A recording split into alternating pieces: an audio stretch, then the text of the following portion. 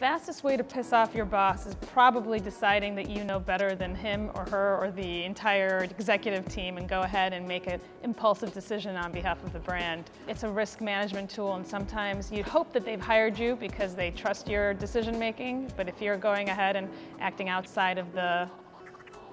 jobs that have been prescribed to you, then you'll probably piss off your boss and get